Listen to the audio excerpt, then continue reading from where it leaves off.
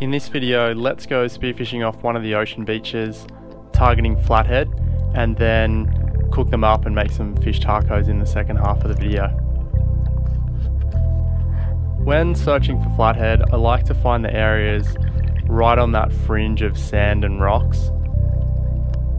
The flathead like to bury themselves in the sand and right on that edge of the rocks there's generally a lot of bait fish.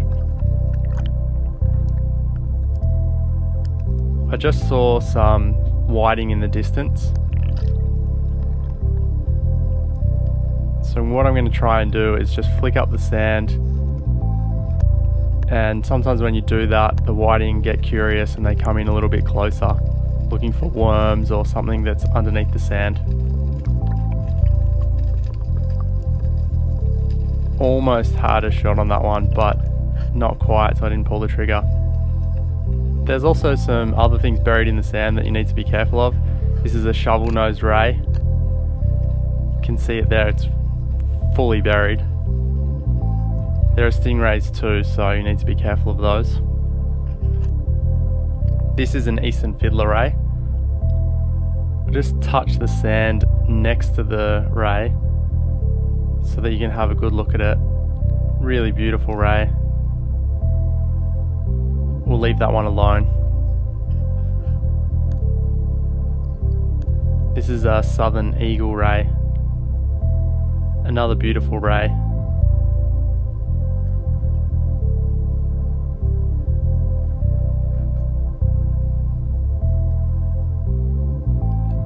Exploring and looking in some caves, I found a wobbegong shark. You can see it there sitting on the bottom, just on the sand there. Couple of wirrahs swimming out of there as well.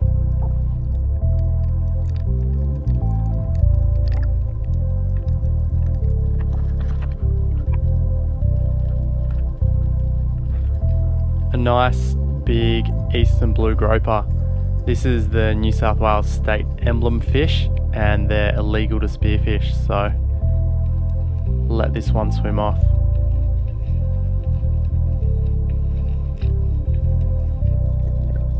Going out into the deeper water, I found three Samson fish, and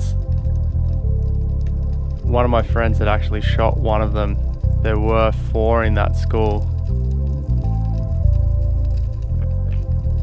They're pretty flighty and they're not letting me get close, even though I'm trying to look the opposite direction and keep my distance, swimming parallel to them. Back on the inside, I found a little dusky flathead. This one's just over legal, around the 37, 38 centimeter mark.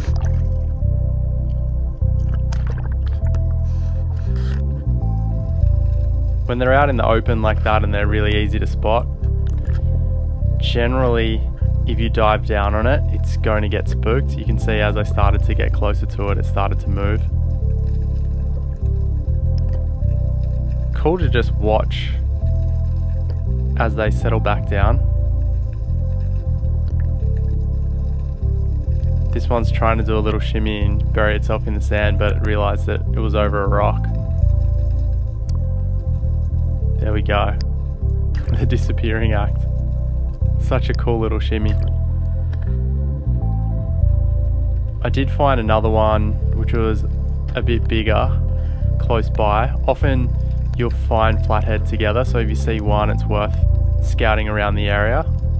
This one's highly camouflaged next to the rock. See it there at the end of the tip of the spear gun?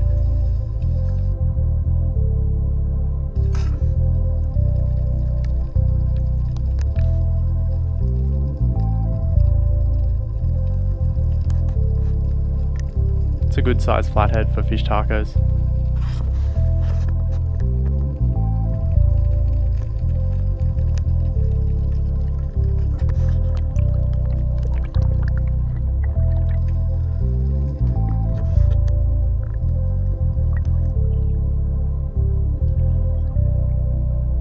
Flathead are one of my favourite fish to eat, so we'll take this one home and cook it up.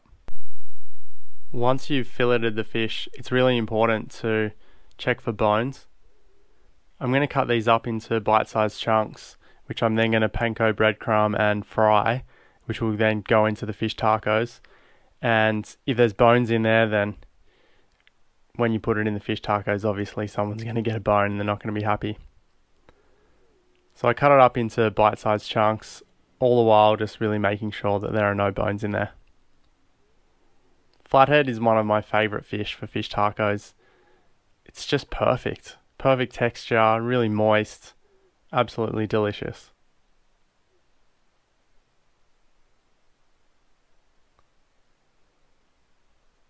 Once I've cut the fish up, the next step is to mix up some eggs and then coat the fish in some panko breadcrumbs.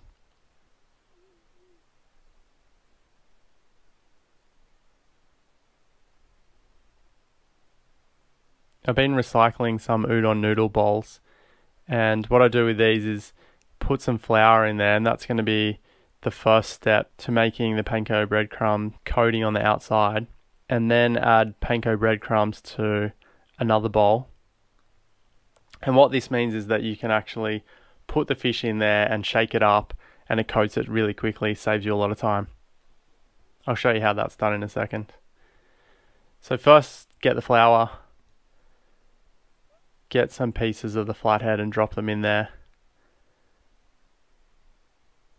Then put the lid on and start shaking it up. This is a really easy way to coat the fish in flour. Once the fish is coated in flour, the next step is the egg. You could probably shake these up too, but I usually just mix it in a bowl. The flour helps the egg stick to the fish, and in turn, the egg's going to help the panko breadcrumbs stick to the flathead. So just give it a good coating of egg. Next step is panko breadcrumbs. So just drop each piece in the bowl.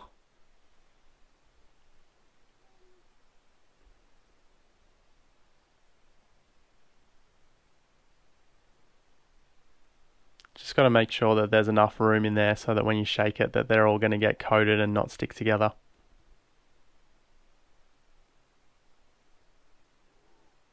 Put the lid on to stop the spillage and then give it a good shake.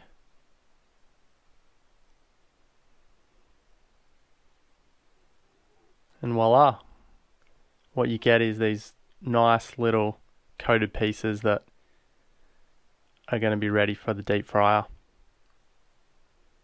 Beautiful little bits.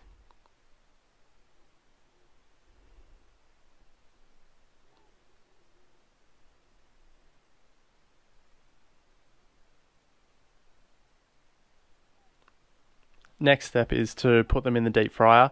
I've heated the oil to 160 degrees. While that's cooking, start chopping up some pineapple and making the salsa.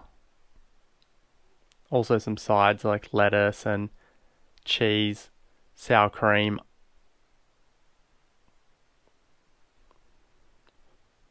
Once the flathead bits are golden brown, they're ready to take out. I put down two pieces of paper towel onto a plate and that picks up all of the excess oil. Beautiful golden brown pieces.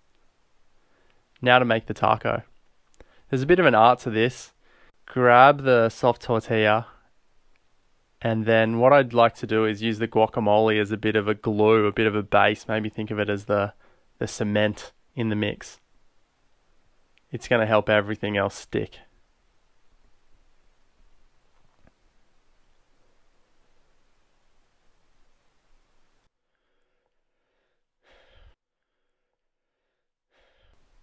Then I place the fish down,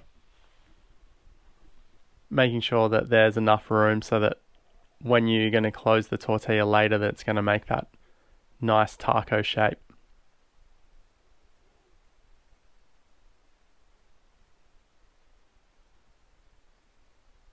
Add some lettuce. This salsa is really good. It's pineapple, coriander, red onion, a little bit of lime juice, and some chopped up cucumber.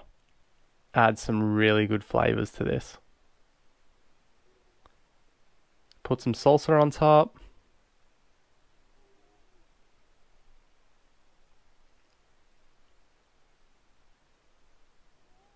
And some sour cream, which never wants to cooperate and always sticks to the spoon.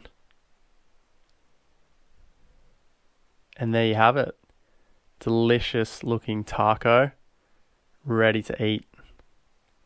And surprising, one flathead goes a long way because you only need three small bits per taco. Alright, catch you next time. Hope you enjoyed.